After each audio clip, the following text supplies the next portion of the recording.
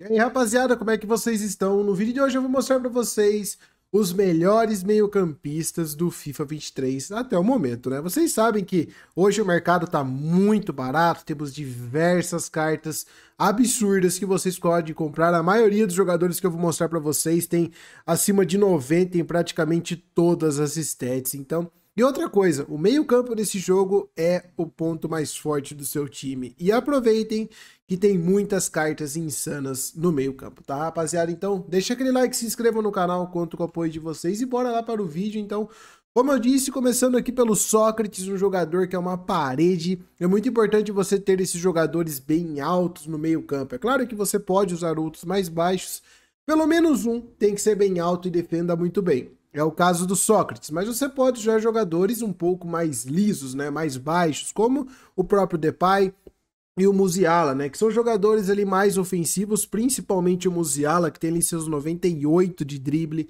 né? Não é aquele cara mais defensivo. O Depay ainda tem defesa nessa caixa de mutantes, tem ali 91 de defesa, 93 de físico, então ele ainda defende. O Musiala, é, cara, usa como segundo volante, não vai usar esse cara para defender, que ele não é a melhor opção. Se você quer um cara para defender, temos o Goretzka. Inclusive, eu gostaria de perguntar para vocês, eu não sei se essas cartas level up dá para você dar level up ainda, tá?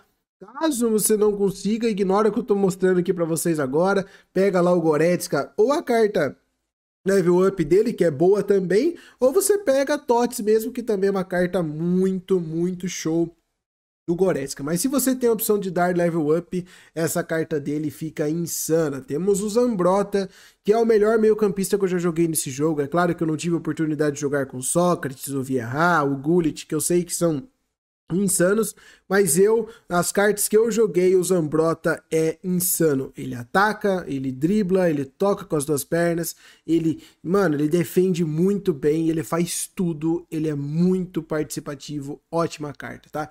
Falando em cara participativo, temos o Mataus. O Mataus não tem o que falar, né? Ele só não vai driblar. Mas de resto, ele defende, ele é forte, mesmo sendo baixinho, ele chuta muito bem, muito forte, se dá um power shot com ele, é certeza que vai ser gol se você acertar time de verde, ele vai correr bem, ele vai passar, então, um cara muito bom. E eu gosto de usar ele um pouco mais para trás, porque ele não tem tanto drible, né? Então eu prefiro usar ele como volante. Sidorf também é volante, né? Tem ali seus 94 de defesa, um ótimo físico, um bom drible, bom passe, só que o chute dele é ruim, tá? O chute do Sidorf não é legal. E temos 88 de pace que dá para melhorar um pouquinho mais, né? Vocês viram que até agora toda a carta que eu mostrei para vocês ali tem acima de 90 de pace, coisa que o Sidorf não tem.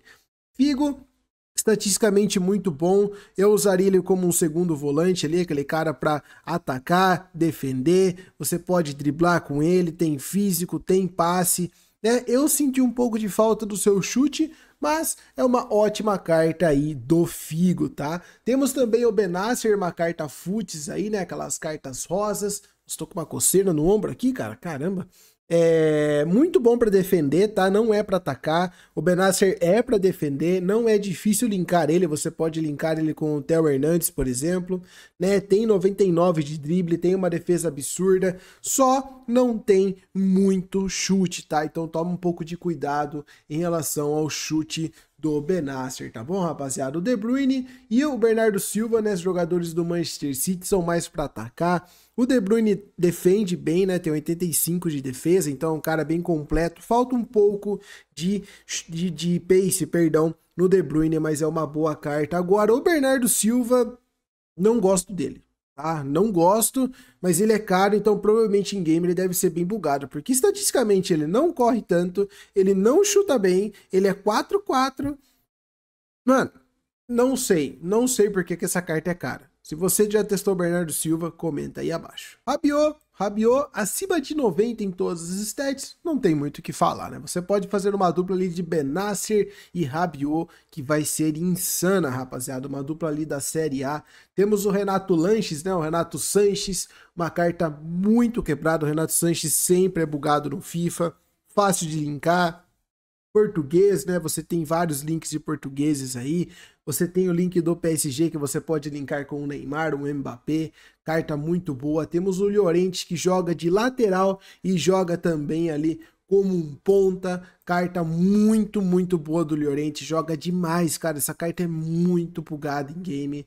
O Valverde parece ser igual ao Llorente, mas não é, tá? O Llorente é um pouco mais bugado em game que o Valverde, por mais que estatisticamente a questão da função deles é a mesma. Eles jogam ali, se você quiser pôr de lateral, eles vão jogar de lateral. Se você quiser jogar como ponta, eles vão jogar como ponta.